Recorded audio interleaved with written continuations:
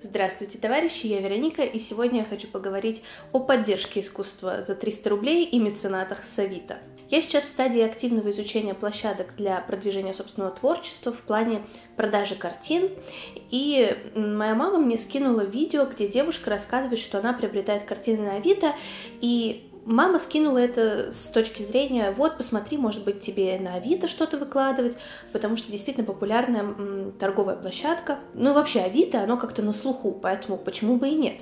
Я посмотрела это видео, и, собственно говоря, сейчас хочу снять реакцию, посмотреть этот шедевр еще раз и снять реакцию, обсудить с вами, потому что меня просто распирает. Пожалуйста, проверьте, что вы подписаны на мой канал. Скоро у нас будет 2000. Я понимаю, что до Нового года, наверное, это невозможно, но, как всегда, хочется к празднику красивую дату, поэтому если вы мне в этом поможете, я буду так рада. Будет такой прекрасный Новый год. Спасибо. Ну, конечно, лайк этому ролику прямо сейчас поставьте, то потом забудете. Я, я, я по себе знаю, что потом точно забудете. Итак, ведущая канала после просмотра одного видео мне в целом понравилась. Довольно приятная девушка, но за остальной контент я, так сказать, не ручаюсь. Канал Дом быта. Делаю бесплатную рекламу. Итак, давайте посмотрим. Я действительно считаю себя коллекционером. Практически все картины в моем доме это масло. Мне нравится... Когда я впервые смотрела этот видос, на моменте, когда она показывает э, работы в своих как бы запасниках, я такая, о, это очень похоже на то, что мы рисовали в универе, такие небольшие живописные эскизы перед тем, как начинать большую живописную работу. И действительно, она потом скажет, что многие картины она выкупает у студентов-художников. На Авито продается очень много студенческих работ, этюды, наброски, эскизы. Продают для того, чтобы ну хоть как-то покрыть свои расходы. Какой-то прям супер художественной ценности эти картины не представляют, но эстетическое удовольствие абсолютно точно доставляет. Сразу много вопросов и так мало ответов. Начнем с того, что, наверное, если бы я знала о об этом лайфхаке, когда сама была студенткой, что можно действительно этюды, эскизы, наброски, просто которых действительно копятся горы у меня до сих пор э, после нескольких волн чисток у меня все равно много студенческих работ, ну, уже которые я считаю классными, я их оставляю, но их довольно много, а представьте, сколько их было до того, как я свою пинокотеку, так сказать, раз, разгребла, разгребла. С одной стороны, я вспоминаю себя в студенческое время, лично у меня никак не получалось совмещать учебу с работой. Но, как известно, деньги лишними никогда не бывают, особенно когда ты студент. И, в принципе, продать то, что тебе не нужно, а кто-то за это готов заплатить хоть те же 300 рублей, пересчитывая это на количество работ, которых мы производили, которые мы производили, получалось бы, ну так, неплохая стипендия. Кстати, стипендии у нас как раз-таки не было. Была, но ее было крайне сложно получить, практически невозможно, и она была типа 356 рублей в месяц.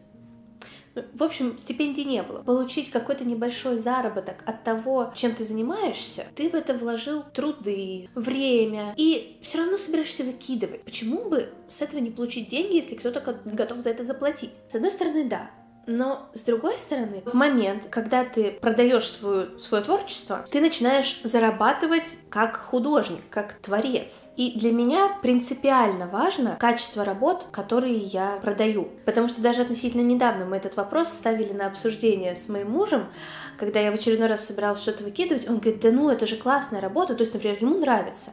А я, как профессионал, вижу, что, ну, здесь, может быть, не особо интересная композиция, или как-то неудачно с колоритом сложилось, или с тоном какая-то беда. Ну, в общем, я понимаю с профессиональной точки зрения, что не хочу это продавать, потому что мне это не нравится. И это вопрос моей творческой репутации, что ты не можешь за это стопроцентно поручиться, вот. Честно говоря, я, короче, над этим размышляла, размышляла, размышляла, но я так и не пришла к однозначному выводу, что, с одной стороны, ну, наверное, это вот принципиальный вопрос, э, на что ты готов ради денег.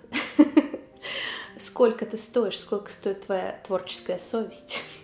Наверное, в каких-то экстремальных ситуациях крайней нужды, ну уж тут что делать, можно, ладно, закрыв глаза, зажмурившись, дайте мне мои 30 серебряников за этот портачный этюд. Но когда в этом крайней необходимости нет, мне кажется, лучше таким не заниматься. Я вот и говорю сейчас именно с точки зрения художников. В поисковом запросе я ставлю картина маслом, этюд, эскиз, академическая живопись, набросок и сразу ставлю ранжирование по цене. от 50 до 300 рублей. Если пос... От 50? Я забыла это. Я смотрела этот видос э, где-то месяц назад. От 50 рублей. Знаете, что... Знаете, что стоит 50 рублей в художественном магазине? Подышать в художественном магазине стоит 50 рублей. О, 50 рублей, что? Мне кажется, столько стоит пустой лист плотной бумаги А4. Да, где-то так. Я в шоке. Нет, не то чтобы 300 рублей, это какие-то гигантские деньги, но она ставит реально порог от 50, то есть... Ой, у меня аж дыхание перехватило. То есть кто-то выставляет свои работы за 50 рублей. Тем более она ставит фильтр на масляную живопись. Масло это вообще один из самых дорогих материалов. Мне кажется, у меня голова заболела. Так, что я слишком переживаю. Ладно, смотрим дальше. Я видела, например, какую-нибудь понравившуюся мне картину, например, вот эту картину Новосадюка, и искала художников, которые мне смогут написать копию. Потому что купить оригинал, ну, для меня это дорого, а вот э, получать удовольствие от того, что такая картина висит у меня в доме, мне хотелось.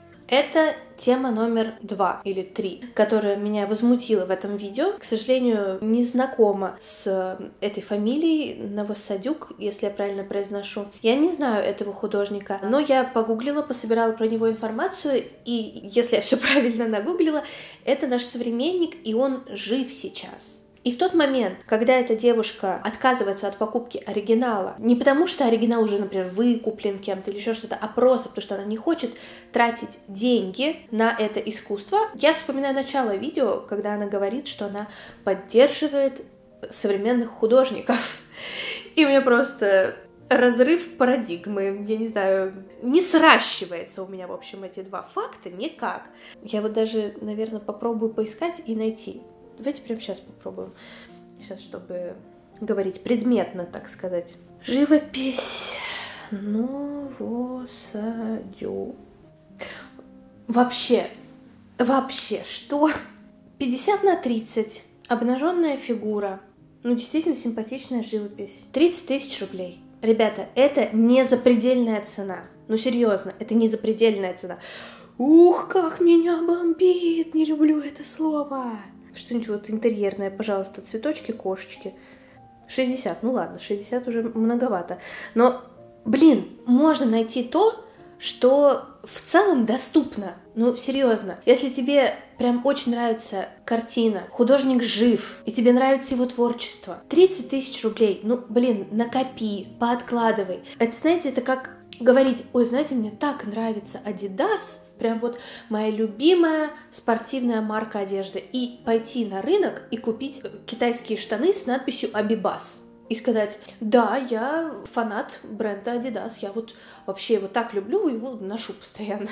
Я не говорю, что копии как явление это что-то злобное, недопустимое. Нет, если эти работы находятся в музейном собрании, я, я думаю, при всем желании ни один человек мира не, не может купить себе ту же Монолизу или Мишек в сосновом бару, или как там правильно это называется, утро в сосновом бару. Это все понятно. И в таком случае это даже похвально, когда человек не хочет просто себе сделать репродукцию, да, там распечатать даже на холсте, а он обращается к художнику, чтобы ему сделали копию, это, понимаете, в этом случае это некий уровень уважения. Банальный пример. Недавно в Телеграме или в общем, в, в какой-то соцсети Юрий Нарштейн, это автор мультфильма «Ежик в тумане», выложил объявление о продаже маленького вот такого набросочка, просто бумажка, просто карандашик, где он нарисовал легендарного ежика с этим узелком. И стоило это 100 тысяч рублей. И я понимаю, что это, это недорого.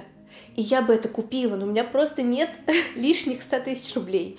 Это адекватно, и я бы даже сказала, несколько скромно. То есть он не наглеет, несмотря на свое имя, несмотря на свой вклад в искусство и вообще. И на фоне вот этой вот идеи на изготовление копий э, достаточно известных картин дорогих художников, у меня в Инстаграме разгорелся даже такой ожесточенный спор на предмет того, этично это или не этично копировать других художников. Напишите, что вы об этом думаете, при условии, что картины я, естественно, копирую для личного пользования.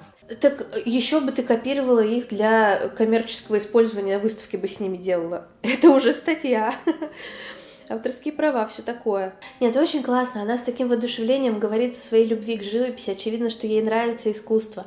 Но, блин, сам посыл. Я поддерживаю художников, покупая их работы за 300 рублей. И не покупая у живых художников, которые мне нравятся, их работы, а просто копируя их. Что вы думаете по поводу искусства в доме? Что вы думаете по поводу покупки картин за 300 рублей на Авито у молодых художников? По поводу искусства в доме я только за. Но 300 рублей на Авито у молодых художников — это унижение, э, это обесценивание, вселение неуверенности в своих силах, потому что потом, когда ты заканчиваешь там 4 года училища или там 5-6 лет университета художественного, ты не понимаешь, а почему, собственно говоря, то, что ты нарисовал вчера, продаешь за 300 рублей, а то, что ты нарисовал сегодня, ты вдруг должен продавать за 30 тысяч. Или даже за 3 тысячи. И это большая проблема на самом деле. Ну, все, с кем я из своих друзей обсуждала, все мои друзья-художники, даже очень крутые, действительно, даже из топовых вузов э, Москвы художественных, из академий художественных, все проходят через этот этап, когда тебе нужно перешагнуть и внушить и понять, что твое искусство, твои работы, они ценные, за них можно и нужно ставить хорошую цену, не 300 рублей и не 3000 рублей. Является ли это демпингом и обесцениванием их труда. Однозначно. И, кстати, да, вот я забыла сказать, демпингом это также является, потому что есть большой пласт покупателей, которые не смогут понять, почему они должны купить какую-то более дорогую работу, когда есть, на их взгляд, не хуже, но значительно дешевле. И таким образом вы не только издеваетесь над молодыми мастерами, так еще и не даете зарабатывать на искусстве, на, своих, на своей жизни, на своем творчестве. В общем, взрослым мастерам не даете зарабатывать уже тоже. Это, это просто зло в чистом виде. Зло в чистом виде. Я с вами прощаюсь. До свидания. Давайте посмотрим, что пишут в комментариях. Я так, знаете, одним глазком заглянула, и у меня, честно говоря, отлегло, потому что, наверное, кстати, наверное, туда набежали тоже художники э, или какие-то творческие люди, которые... Да, сложность творчес... быть творческим человеком еще в том, что когда ты сам вынужден быть э, и маркетологом, и э, СММщиком, и рекламным агентом, и, собственно говоря, творцом, и пиарщиком, и просто все это, как это осваивать? Никто этому не учит. Ты научился рисовать, и все. Просто с этим умением ты не проживешь в современном мире, к сожалению, когда ты вот сам с собой работаешь. Больно очень. Так вот, что же пишет народ в комментариях? Покупателю, конечно, шоколадно, а художник перебивается с хлеба на воду э, с такими ценами. Вопрос ко всем. Вы свой труд цените, почему не цените чужой? Да!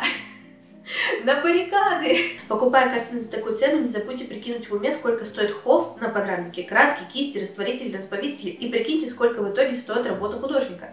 Но здесь не указано, но еще и э, хорошо бы прикинуть количество часов, которые художник на это потратил. Тогда вы сами поймете, поддержите ли вы молодых художников. Вопрос риторический. Сложность быть художником в современном мире еще в том, что тебе приходится кон конкурировать с огромным количеством других средств передачи визуального контента, как это сказать. Мы вынуждены конкурировать с фотоаппаратами, с принтерами, с нейросетями, чтобы, понимаете? Очень много восторженных комментариев, что да, классно, картины в доме, но дело в том, что люди, которые вдохновились этим видео, они точно так же пойдут искать Э, дешевые картины. И вы можете мне сказать, Вероника, но этих же художников никто там э, с дулом к стенке не представляет и говорит, ну-ка, отдавай мне свою работу за 300 рублей, это их выбор. Да, но они молоды и глупы. А, зачем ты ребенка от розетки оттаскиваешь, это его выбор. Засунуть туда гвоздь. Короче, очень сложно. Я надеюсь на активную дискуссию в наших комментариях. Напоминаю вам, что мои работы вы пока что можете смотреть в запрещенном на территории Российской Федерации Инстаграме. Там же вы можете выбрать что-то для себя из моего творчества, и мои работы станут частью вашего интерьера. Цены, цен в 30 тысяч у меня пока что нет, так что ловите момент. Э, Все, и на этом буду заканчивать. И хотела сказать большое спасибо, что вы досматриваете видео до конца. То, что вы со мной, для меня это очень важно и приятно. Жду вас в комментариях. И до встречи в новых видео. Fuck up.